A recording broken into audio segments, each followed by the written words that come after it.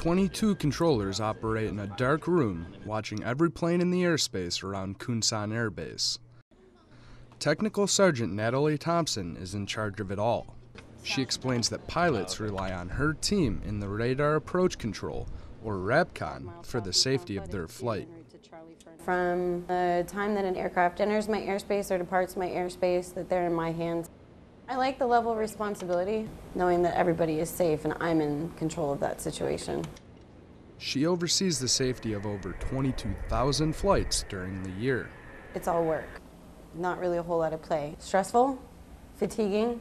Uh, sometimes at the end of the day, you don't even want to talk because uh, you can talk so much throughout the eight or nine or ten hour period that you work.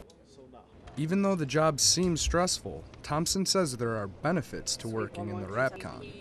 When everything is working and everybody is on the same page and aircraft are moving, it's probably one of the most rewarding things I've ever experienced.